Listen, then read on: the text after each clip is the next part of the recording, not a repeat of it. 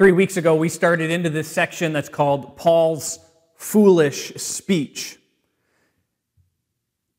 It's a section where Paul told the Corinthians that, like the false teachers they're currently entertaining, he was going to boast about his own accomplishments. However, we're 16 verses into this chapter, and Paul is yet to actually boast about anything. Well, he boasted about one thing he boasted about not taking payment for his work, about delivering his gospel free of charge. He started at the beginning of this chapter, chapter 11, by reminding the Corinthians that he was the one that introduced them to Jesus in the first place. He was the matchmaker. In verses 5 to 15, what we looked at last time was Paul addresses some accusations that were made against him and against his ministry. Paul was accused of not being a trained public speaker. And he also addressed the accusation, or he addressed the reason why he never took compensation from the Corinthians for the services he gave them. And as we closed last time, Paul exposed the false teachers for what they really are deceitful workers and ultimately servants of Satan. In the passage we're looking at today, we're going to look at verses 16 to 33. Paul finally engages in boasting. He chooses some odd things to boast about. But he finally engages in this boasting, but not before once again showing that his ministry and the ministry of the false teachers are fundamentally different. Here's how I see this passage breaking down. In verses 16 to 21, Paul gives another disclaimer about boasting, another disclaimer about his boasting. You may think I'm crazy, but I'm not. In verse 22, in verse 22, Paul draws a line of comparison between himself and his opponents. Verses 23 to 30, Paul boasts. He boasts about his accomplishments and his work as a servant of Jesus. Though again, he chooses some very odd things to boast about. And in verses 31 to 33, Paul shows the Corinthians that persecution and suffering have always been a part of his ministry. Hear the word of God. 2 Corinthians chapter 11. I'm going to read verses 16 to the end of the chapter, 16 to 33. Hear the words of God. I repeat, let no one think me foolish. But even if you do, accept me as a fool, so that I too may boast a little. What I am saying with this boastful confidence, I say not as the Lord would, but as a fool. Since many boast according to the flesh, I too will boast. For you gladly bear with fools, being wise yourselves. For you bear it if someone makes slaves of you, or devours you, or takes advantage of you, or puts on airs, or strikes you in the face. To my shame, I must say, we were too weak for that. But whatever anyone else dares to boast of, I'm speaking as a fool. I also dare to boast of that. Are they Hebrews? So am I. Are they Israelites? So am I. Are they offspring of Abraham? So am I. Are they servants of Christ?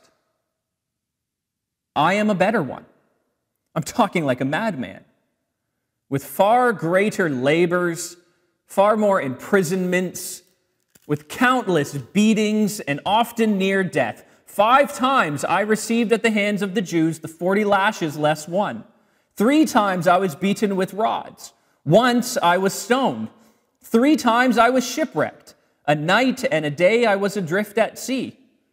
On frequent journeys, in danger from rivers, danger from robbers, danger from my own people, danger from Gentiles, danger in the city, danger in the wilderness, danger at sea, danger from false brothers, in toil and hardship through many a sleepless night, in hunger and thirst, often without food, and cold and exposure. And, apart from other things, there is the daily pressure on me of my anxiety for all the churches. Who is weak, and I am not weak? Who is made to fall, and I am not indignant? If I must boast, I will boast of the things that show my weakness. The God and Father of the Lord Jesus, who is blessed forever, knows that I am not lying. At Damascus, the governor under King Aretas was guarding the city of Damascus in order to seize me.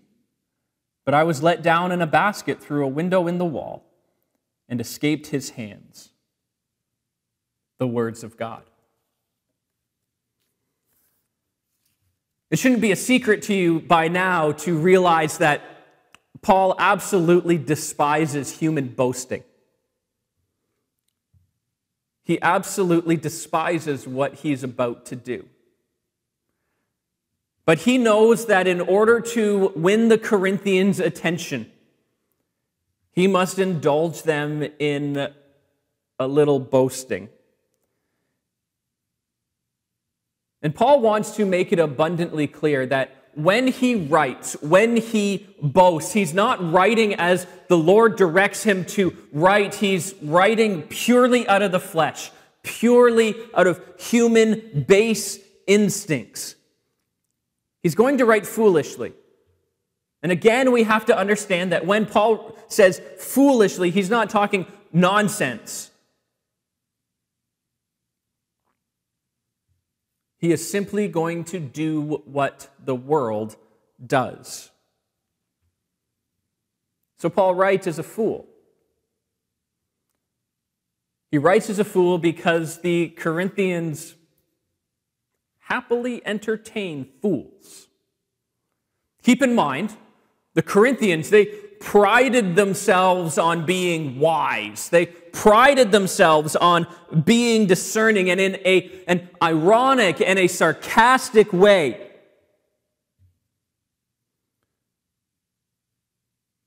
Paul writes that even though they are wise, they seem to enjoy putting up with fools. And not just fools. The Corinthians seem to want to put up with leaders who will devour them, who will take advantage of them, who will deplete their resources, who will put on airs around them, who will ultimately just slap them in the face. Now, in verse 20, the image that Paul is drawing on is taken directly from Greco Roman plays, Greco Roman comedies. In these plays, they would uh, sarcastically uh, and ironically depict a leader, but in an over the top way. The character would be arrogant, abusive, and pompous. And the audience uh, sitting there watching this play out on stage would laugh at the over the top nature of this leader. It would recognize that the actions of this leader in this play were absolutely ridiculous. But what happened in real life? What happened in real life is that people, even in the ancient world, happens today still. People would end up following this abusive, arrogant, pompous leader.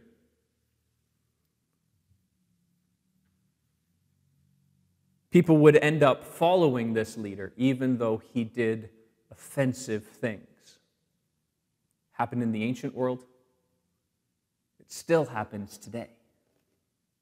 And this is what happened in Corinth. False teachers came into the church and they enslaved the Corinthians. They enslaved them to a different gospel. They demanded payment for their services. And so they depleted the resources from the church. They put on airs around the Corinthians. They acted like they were servants of righteousness, but really had no interest in being righteous. And the people followed them anyway. The people followed them anyway. And here, here in chapter 11, Paul realizes that the only way to regain the Corinthians' attention and loyalty is to engage in the same foolish talk that the false teachers employed. We have in verse 21, it's almost as if Paul is saying, Here we go. Here goes nothing. I'm about to boast. And he begins a boast about his own accomplishments. Though, as you heard when we read the passage earlier, Paul chooses some very odd things to boast about. As we make our way into verse 22, Paul actually draws a line of comparison between himself and his opponents.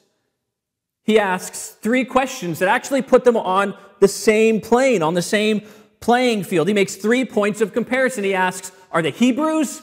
Are they Israelites? Are they offspring of Abraham? On the surface, all three seem to be asking the same question. And in a way, they, they kind of are. But they're also different. Paul is establishing some common traits in order to highlight the difference. He's establishing some commonalities in order to highlight the main difference. Are they Hebrews? Paul asks first. What he's asking in this question is Are they full blooded members of the race? Not Hellenistic Jews, not uh, brought, not uh, proselytized Jews, but full blooded members of the race? Do both of their parents trace their bloodline through the Hebrew race? So does Paul. Both of his parents came from the Jewish race. Paul asks the next question. He says, Are they Israelites? And if the previous question was about race, this question is about religion. The members the Jewish religion. And Paul says, So am I. He says it simply here in 2 Corinthians chapter 11, but I want to draw your attention to Philippians chapter 3. Philippians chapter 3, verses 4 to 6. Paul says this about being an Israelite, an Israelite. He says this If anyone else thinks he has reason for confidence in the flesh, I have more. Circumcised on the eighth day, the people of Israel, the tribe of Benjamin, a Hebrew of Hebrews. As to the law, a Pharisee. As to zeal, persecutor of the church. As to righteousness under the law, blameless. And then in verse 7, Paul goes on to say, But whatever gain I had, I counted as loss for the sake of Christ.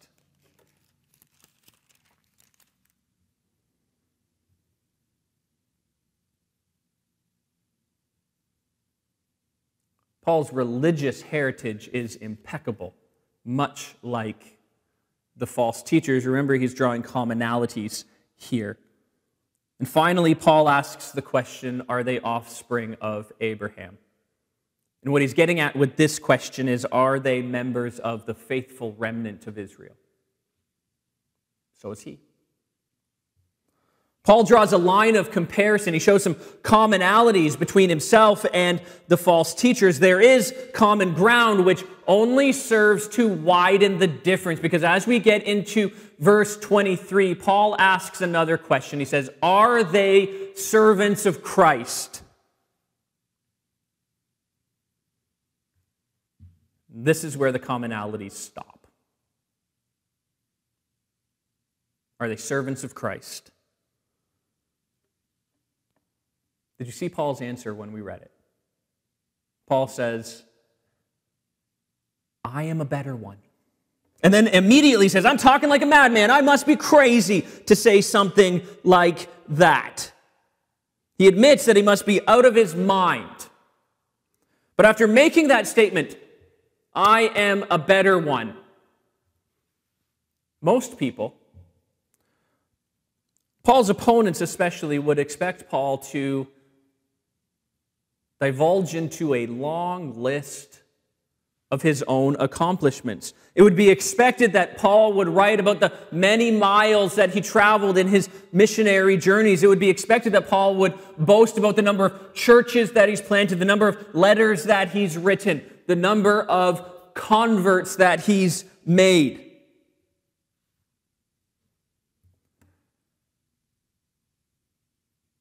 But what Paul lists in this foolish speech are circumstances that most people would be ashamed of. What Paul lists in this foolish speech is events that society would detest. Imagine this with me. Just picture this. Imagine 10 and some odd years ago when I was being hired here. Search committee presented my name, Michael. Talked about my education, talked about my life story and history. But imagine they also said this He's done some jail time. He's done some jail time. He's been charged with disturbing the peace. He seems to cause trouble everywhere he goes. I imagine that if I had that on my resume, I imagine if the search committee presented that to the churches, the vote would have been decidedly different if it made it to a vote at all. Well, it's these shameful acts that Paul chooses to highlight in this foolish speech. It's these acts that society would view as despicable that Paul uses to prove that he is a better servant of Christ than the false teachers. If we want to understand this passage more fully, what we need to do is start with verse 30 understand what Paul is doing, and then read the rest of the chapter in light of verse 30.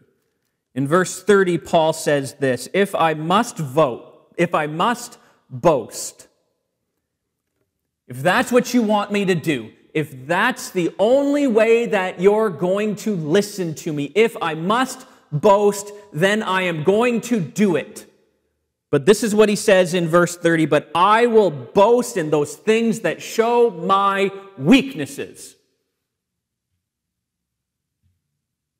If I must boast, I will boast in those things that show my weaknesses, those things that make me look bad. And he'll say in the next chapter that he does this because when he is weak, then he is strong because the power of Christ rests on him. We aren't going to look at each item in this list specifically. That would be horrific. Quite frankly, a little depressing. But I want you to understand what's going on here. At the time of writing Second Corinthians, there was a, a famous document making its way through the Roman Empire. This document was inscribed on monuments. It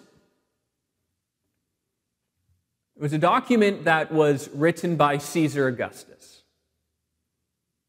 It, was, it came to be known as Caesar's eulogy.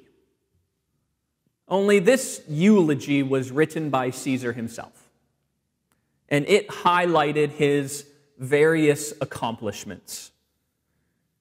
When Caesar wrote this, he made sure to include numbers. So it was clear how great he was, how many honors he received, how many battles he won, and so on and so on and so on. Well, well, Paul models his foolish speech after Caesar's eulogy, and he whoosh, turns it on its head. Instead of boasting about the number of churches that he planted, the number of letters that he wrote, how many miles he traveled, how many converts he made,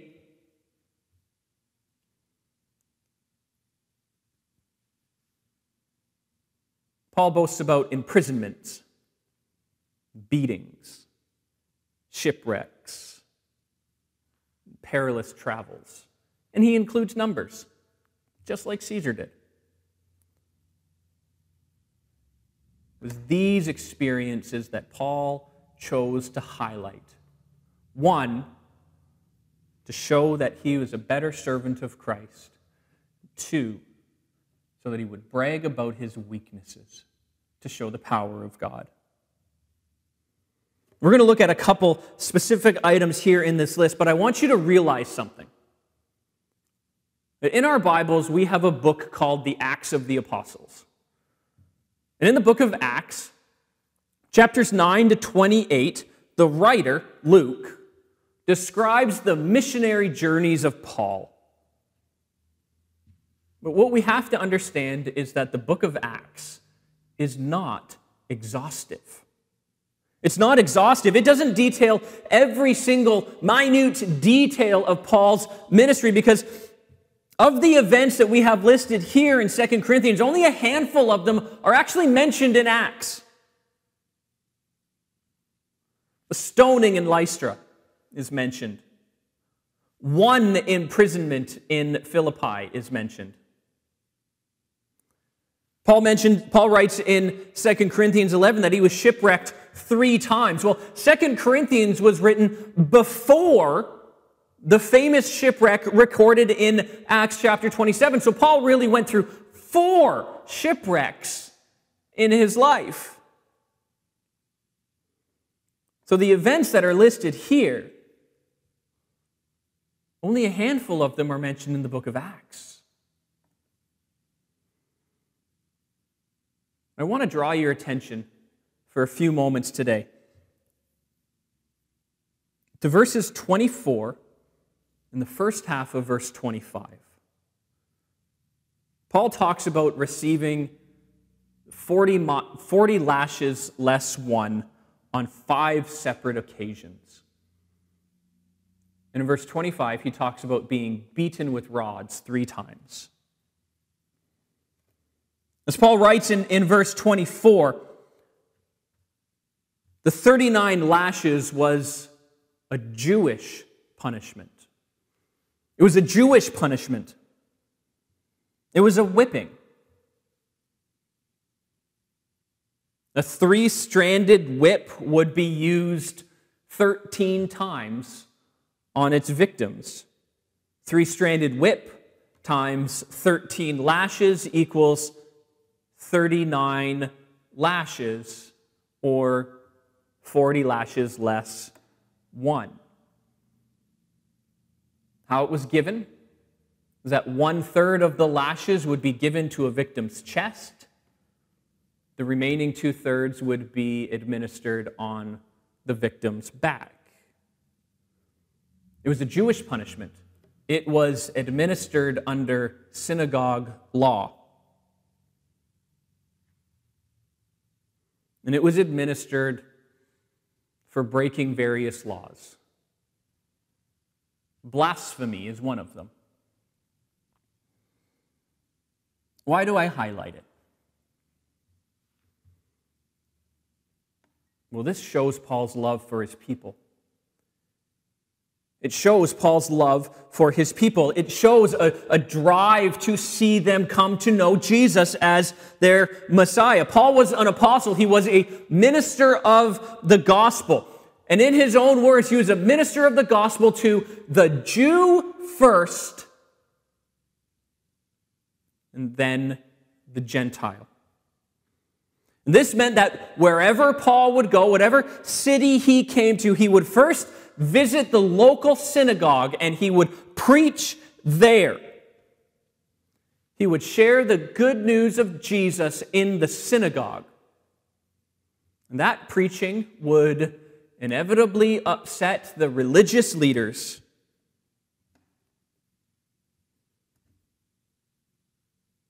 Think about it. Paul's desire was for his race to come to know Jesus that he had. So he went to preach to them. But even though he knew that his teaching would get him charged with blasphemy, even though he knew that the charge of blasphemy came with a whipping,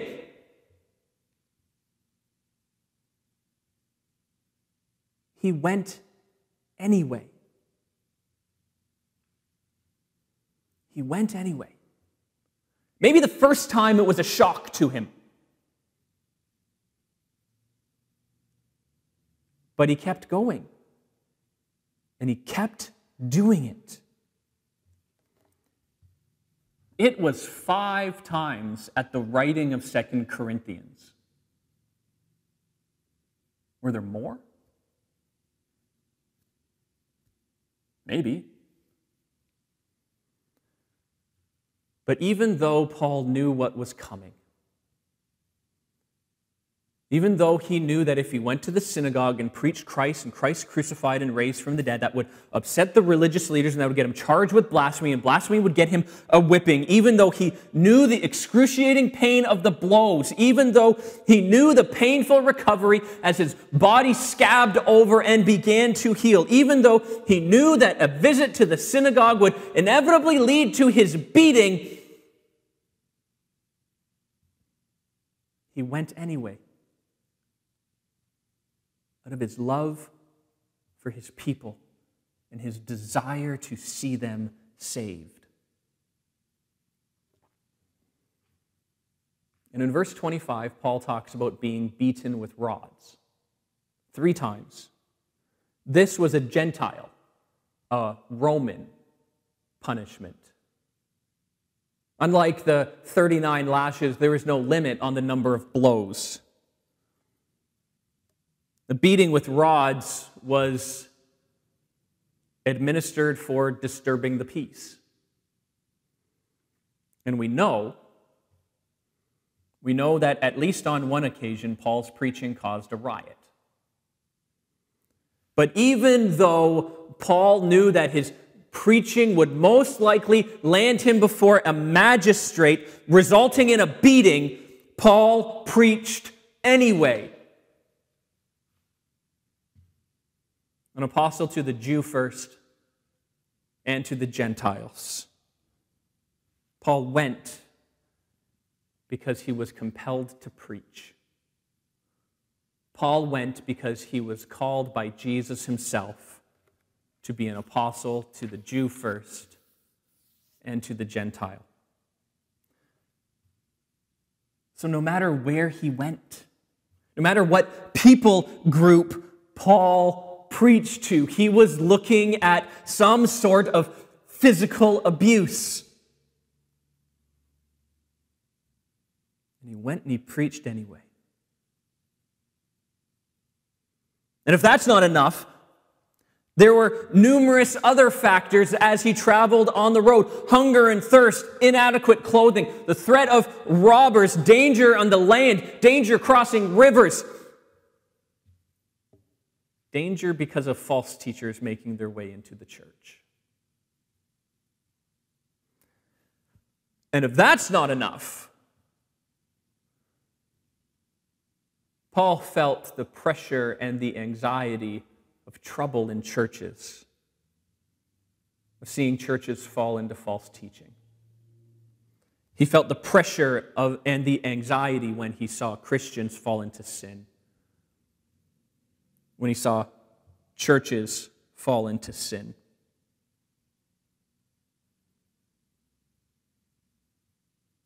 And again, keep in mind that Paul highlights these career happenings to boast about his weaknesses. You want me to boast? That's the only way you're going you're going to listen to me, if that's the only way I'm going to win your attention, and this is what I'm going to boast in. I'm going to boast in the fact that I don't charge for my services. I'm going to boast in my weaknesses. And this is something that he will continue to do into chapter 12 that we'll look at next week as he boasts and writes about his thorn in the flesh.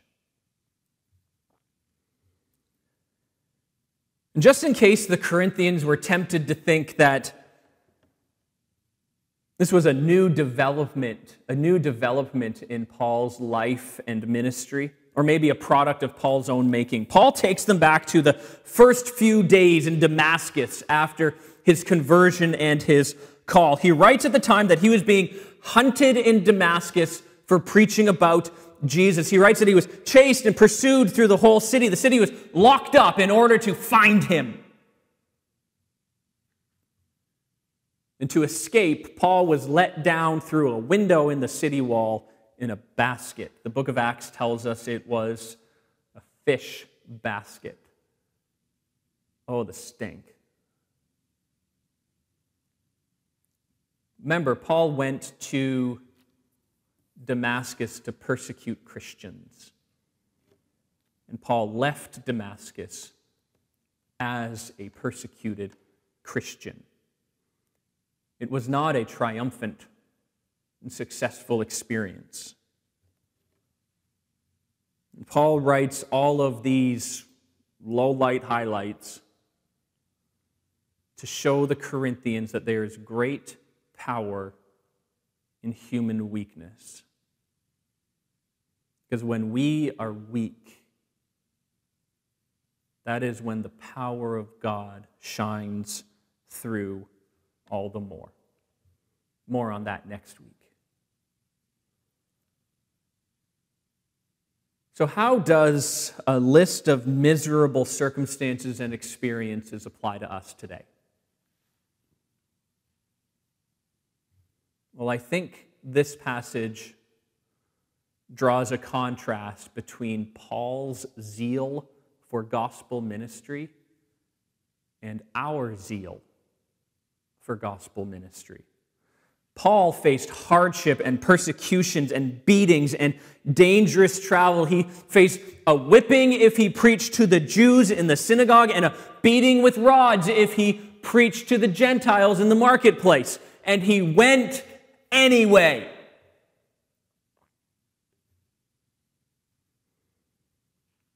A few weeks ago, we talked about what drove Paul in his gospel ministry, where the source of his zeal was, what compelled him to keep going. And we learned that it was the displayed love of Jesus on the cross that drove Paul to keep going.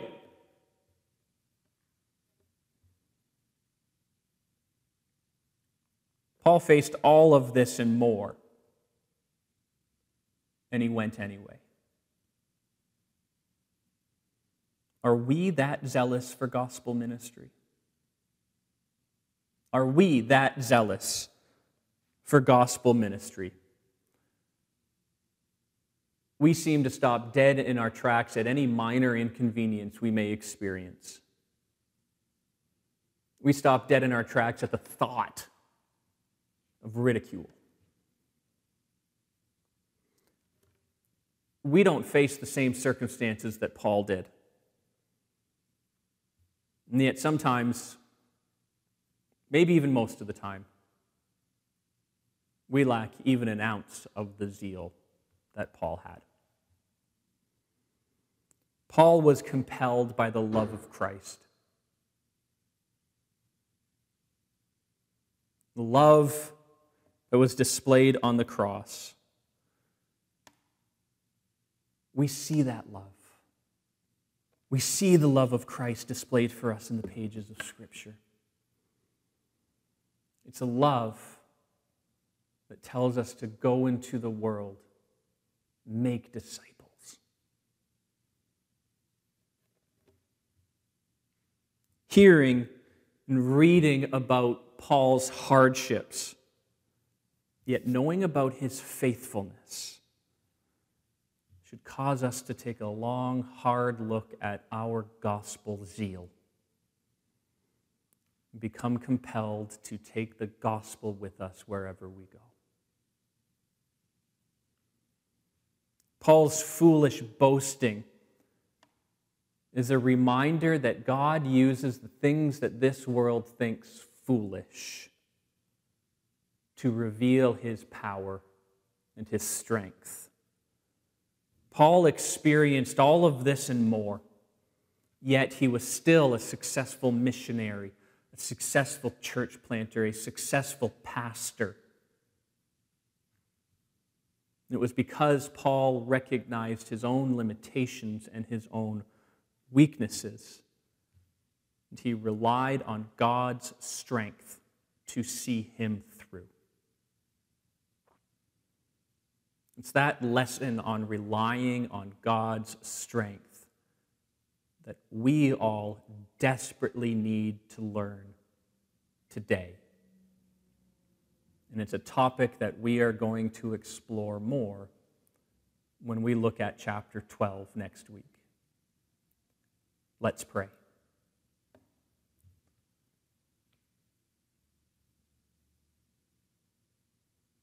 God, I thank you for the way that you work.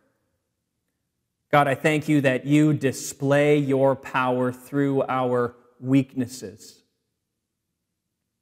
God, I pray that you will help us to recognize this is the way you want us to live, relying on your strength, relying on your power to see us through, not doing things on our own and in our own strength and energy, but relying on you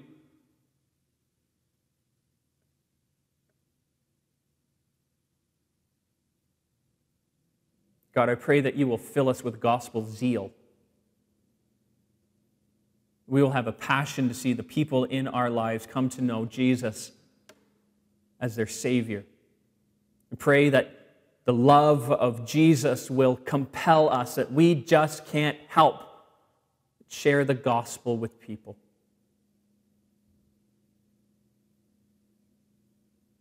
I pray for the week in front of us that you will provide opportunities for us to share the good news, that we will have open ears and open eyes to see and hear. You'll give us boldness and confidence to share the gospel with the people that you put in our lives this week. I pray that we will go in your blessing and your peace. We pray these things in the name of Jesus. Amen.